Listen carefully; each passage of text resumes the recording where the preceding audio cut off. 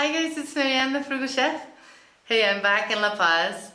I am jet lagged. Uh, you have no idea. I've been through so many time zones that my body's completely confused. But here I am. It's time to start working again. And I just wanted to give you guys a little update of what's going on. First thing, I want to apologize for my last video and the sound between the waves and the wind. I know it was very hard to understand, but by the time I edited it, uh, you know, I did it the day before we left, it was too late for me to do anything about it. So I figured, you know, rather than disappear on you, um, I'd uh, annoy you with a video you couldn't you you couldn't you know really make out. Uh, I know somebody was all concerned about the flies in my face. Well, those really weren't flies, you know, they were more like gnats. It is the tropics there. And, uh, well, I was trying to get them out of my face. So anyways, um, let's see. Let's talk about the book first. The book is published. The, the publisher had a little miscalculation in how much it was going to cost him. And it is, it's quite high in price.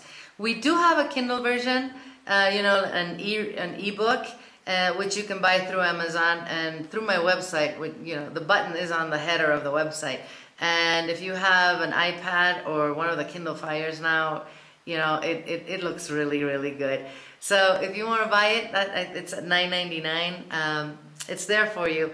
It's a big book. It's about 300 and some pages. And um, so the problem is it's too expensive. The solution is uh, we're going to start making like little, smaller versions of that one book uh, and sort them out by subjects, like, you know, soups and sandwiches. There's a whole section on, on uh, you know, uh, tips for saving money, on essential things that I think you should have in your pantry, your kitchen, essential kitchen uh, items, you know, for people that are starting out, what you don't necessarily need to have a full deck, fully, you know, uh, I can't talk. It's the jet lag. you don't need to have a kitchen that's got everything in it, but you do need some essential things in order to be able to cook. So anyways, we're going to be uh, cutting it up into smaller books. I don't really want to spend a lot of time on that right now. Uh, it, it, I am a little disappointed if I must say. Uh, but we'll, we'll see how that goes. I will let you know when those are up, okay? Up and ready to buy. Um, let's see, what else? Uh, I told you I was going to meet with Rocky Barragan and with Senor Pipa de la Paz. And unfortunately, that did not work out. Um, Rocky was sick and her brother was coming into town. And, you know, my flight was delayed by eight hours in Fiji and uh, we could, you know, by the time I got to LA, everything I needed to do that day I couldn't do. But anyways, uh, it, it was impossible. That was a little disappointing. I was really, really excited to do that. Maybe next time. Um, the cooking classes, those I will let you know when they're when they're ready. I think I'm gonna be moving to another house. I'm pretty sure actually. I will sort that out this week, hopefully. And so, you know, I, I need to set up, um, um, you know, special internet for that, and I'm not gonna do it in this house if I'm leaving. So I'll let you know. Uh, let's see what else. Um, right after this video, I will have a food video for you, and you know, I'll start up uploading food here. Um, I started two new channels. And, uh, you know, one of them is Cocina Frugalista and the other one is My Life, My Views.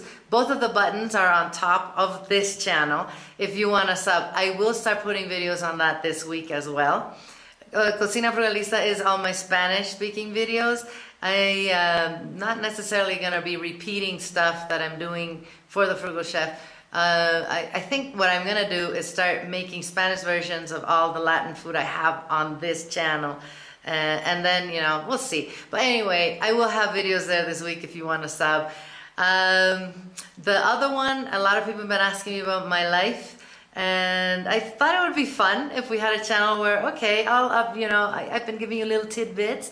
It won't be all about me, me, me, me, me. we'll talk about me. But I also thought it'd be fun if we had a place where we could talk about, you know, everything from attitudes to the power of the words that come out of our mouth and you know where we could all just uh, have an opinion and I think it'd be fun. I think we'd have a nice friendly community there.